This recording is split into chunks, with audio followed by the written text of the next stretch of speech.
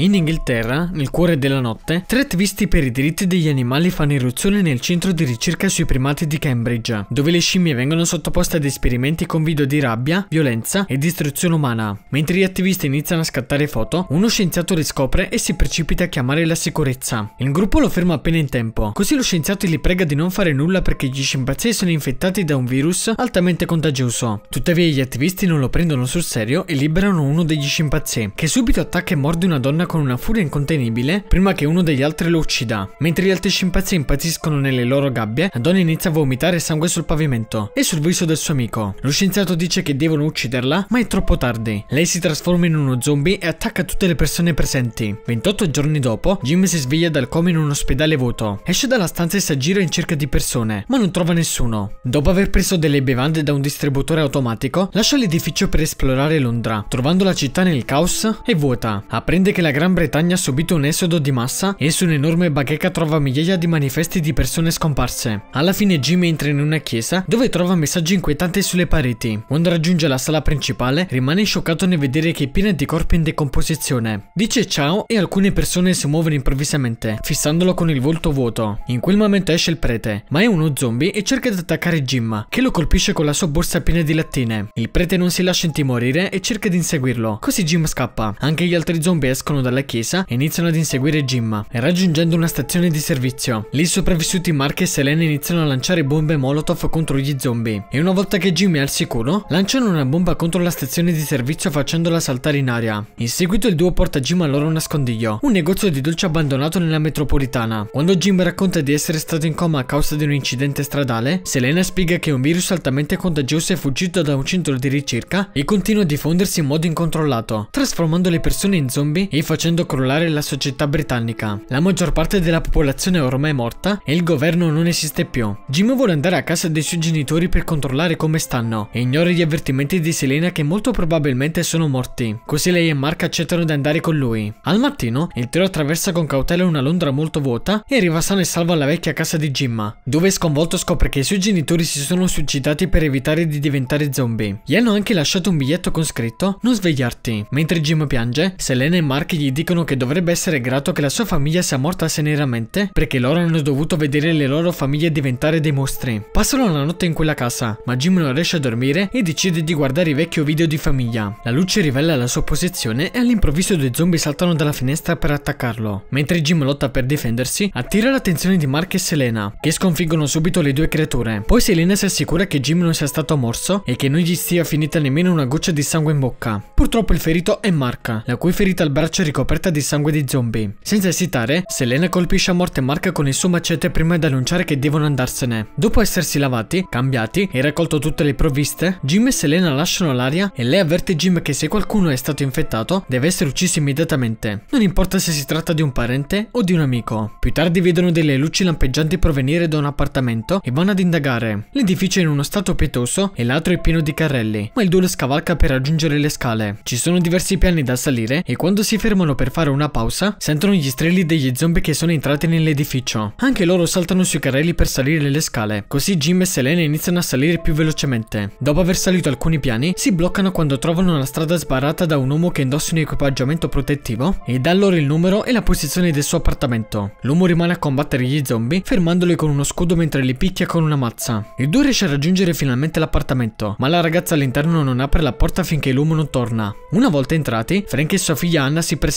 Questo è l'appartamento con tutte le luci e Frank è finalmente contento che il suo segnale abbia finalmente portato un po' di compagnia. Il giorno dopo Frank mostra a Jim tutti i secchi che ha sul tetto, spiegando che da un po' che non piove. Le risorse scarseggiano ogni giorno di più e di questo pasto non potranno restare in questo appartamento ancora per molto. Poi Frank mostra loro una trasmissione radiofonica militare che afferma che i soldati stanno offrendo protezione ad altri sopravvissuti fuori Manchester e promettono addirittura la risposta all'infezione. Frank vuole recarsi sul posto ma Selene è scettica, dicendo che probabilmente si tratta di una trappola o di una vecchia registrazione non più valida. Anna convince tutti che vale la pena rischiare. Poi il gruppo prende il taxi di Frank per andare a Manchester portando con sé tutte le provviste possibili. Mentre attraversano Londra, vedono tutta la distruzione e i corpi per le strade. Quando cercano di attraversare un tunnel, la strada è bloccata da corpi e auto incidentate, ma Frank decide di attraversarlo. Ma l'auto buca una gomma. Quando il gruppo esce per cambiare la gomma sentono un suono molto strano e vedono improvvisamente centinaia di topi che corrono verso di loro, il che fa capire che gli zombie stanno arrivando. Non c'è tempo per usare altri attrezzi, così gli adulti sollevano l'auto mentre Anna cambia la gomma. Vedono le ombre degli zombie che si avvicinano e presto saltano sui veicoli incidentati, ma il gruppo finisce di cambiare la gomma appena in tempo e riesce ad allontanarsi.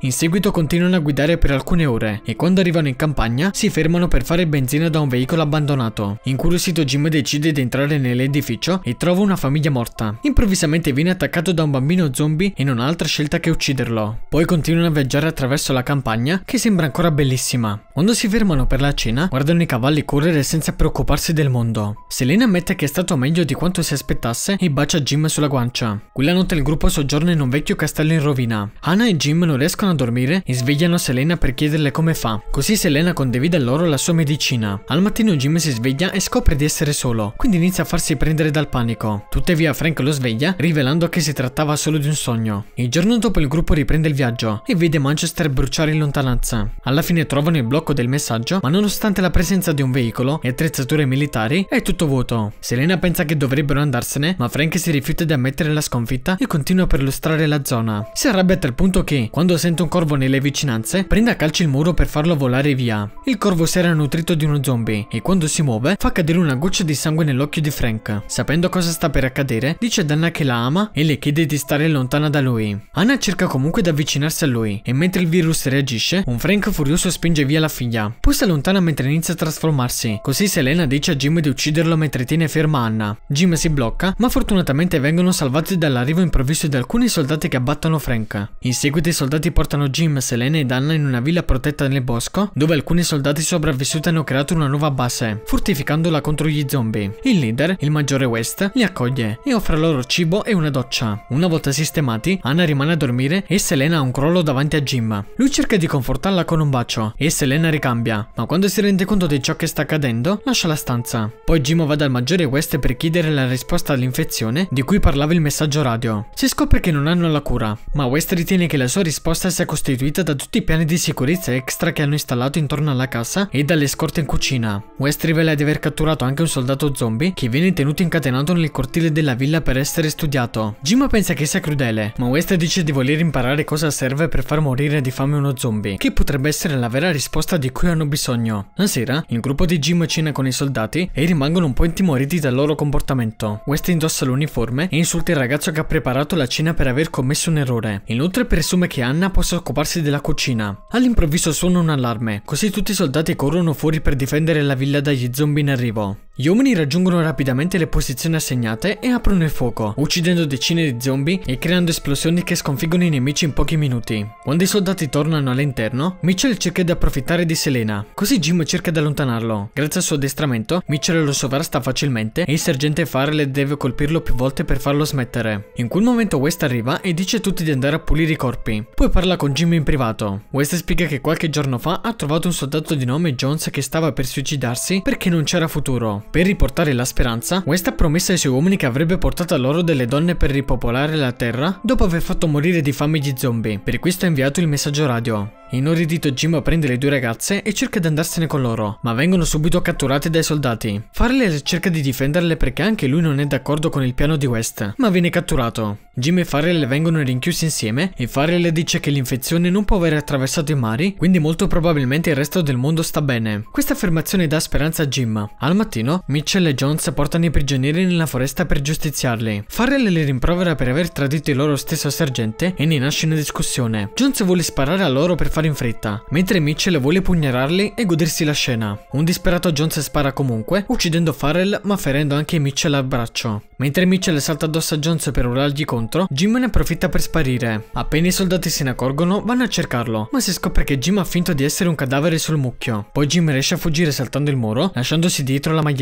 I soldati si accorgono e decidono di lasciarlo stare, pensando che non possa sopravvivere agli zombie. Mentre Jim fugge nel bosco, improvvisamente inciampa e cade. Con sua grande sorpresa vede un jet che vola, il che significa che la teoria di Farrell secondo cui il resto del mondo sta bene è corretta. Nella villa i soldati vogliono far indossare a Selena ed Anna dei bei vestiti per una notte di riproduzione. Selena cerca di opporsi senza successo, quindi cambia tattica e bacia un soldato, flirtando mentre gli chiede di lasciarle un po' di privacy per cambiarsi. I soldati accettano e dopo Dopo aver lasciato la stanza, Selena dà ad Anna un po' della sua medicina per rendere l'esperienza meno traumatica. Il soldato sente tutto questo e si precipita all'interno, ma prima che possa fare qualcosa, sentono di nuovo l'allarme. Si scopre che Jim è lì e sta suonando l'allarme di proposito. Ben presto West e un altro soldato arrivano e iniziano a perlustrare la zona. Così Jim si aggira furtivamente e tende un'imboscata al soldato per abbatterlo. Quando West si accorge che il suo compagno è scomparso, si guarda intorno e lo trova morto nella sua jeep. Quindi apre il fuoco. Poi cerca di andarsene con la jeep, ma questa è stata disattivata e in quel momento uno zombie salta sopra il veicolo. West lo abbatte immediatamente prima di uscire dal veicolo per uccidere tutti gli altri zombie. Una volta finito, torna di corsa alla villa. Nel frattempo anche Jim torna alla villa e con l'arma rubata dalla jeep libera lo zombie incatenato, che salta immediatamente attraversando la finestra per attaccare i soldati che sorvegliano le ragazze. Mentre Selena ne approfitta per trascinare via Anna, lo zombie vomita sangue su un soldato e inizia ad inseguire Jones. Anche il primo soldato diventa uno zombie. Selena ed Anna cercano di uscire, ma vengono bloccate da Mitchell. Improvvisamente Jones passa con lo zombie alle spalle, così Mitchell manda un soldato per inseguirli mentre si occupa delle ragazze. Jones riesce a nascondersi in cucina e quando lo zombie sta per prenderlo, l'amico di Mitchell appare per sparargli, per poi essere assalito dal nuovo zombie e viene infettato anche lui. Jim assiste a tutto questo e all'interno di un armadio Jones piange perché non può aiutarlo. Dopo che gli zombie se ne sono andati, Jones cerca di scappare, ma Jim lo trova e lo uccide. Poi Jim entra in una porta segreta per nascondersi dagli zombie, che invece prendono le scale. Al piano superiore Anne riesce a scappare da Mitchell ed entra nello spogliatoio per trovare una foto di suo padre tra le sue cose. Quando sente arrivare uno zombie, si nasconde dietro uno specchio appena in tempo. Lo zombie è confuso dal suo stesso riflesso e se ne va. Tornando a Jim, lui corre per la villa alla ricerca delle ragazze ed entra in una stanza dove trova un soldato nascosto perché senza proiettili. Jim ignora le sue richieste e salta dalla finestra, lasciando che il soldato venga divorato. Correndo sul tetto, Jim vede la stanza dove Mitchell sta per approfittare di Selena ed entra. Mitchell prende subito Selena in ostaggio, ma Mitchell gli salta addosso e lo attacca furiosamente. Jimmy gli sbatte la testa contro il muro e poi lo getta a terra per schiacciargli gli occhi. Inorridita da questa violenza, Selena afferra il suo macete e quasi uccide Jim pensando che sia uno zombie. Ma la sua esitazione permette a Jim di dimostrare che sta bene e i due si baciano. Improvvisamente Anna colpisce Jim con un vaso pensando che anche lui sia infetto. Fortunatamente Jim sta bene e il trio corre subito fuori, ma quando si avvicinano al taxi di Frank trovano West all'interno. Dicendo di volersi vendicare dei suoi uomini, West spara a Jim, così Anna guida rapidamente il taxi all'indietro verso l'edificio. Lo zombie che prima era incatenato rompe il finestrino posteriore e trascina fuori West per vendicarsi. Anna parte rapidamente con Jim e Selena. I cancelli che circondano la villa sono chiusi, ma Anna le attraversa comunque. I ricordi di Jim su ciò che accade in seguito sono confusi, ma ricorda che Selena gli ha praticato la rianimazione in ospedale e lo ha implorato di vivere. 28 giorni dopo, si scopre che il trio ha vissuto in un cottage in campagna. Selena ha lavorato sodo per cucire un sacco di stoffa e quando sentono passare un aereo, il trio si precipita fuori con la stoffa, rivelando di aver fatto delle lettere giganti che scrivono Ciao. L'aereo se ne accorge e torna indietro per salvarli. Se il video ti è piaciuto, iscriviti, commenta e lascia un like. Grazie per aver guardato.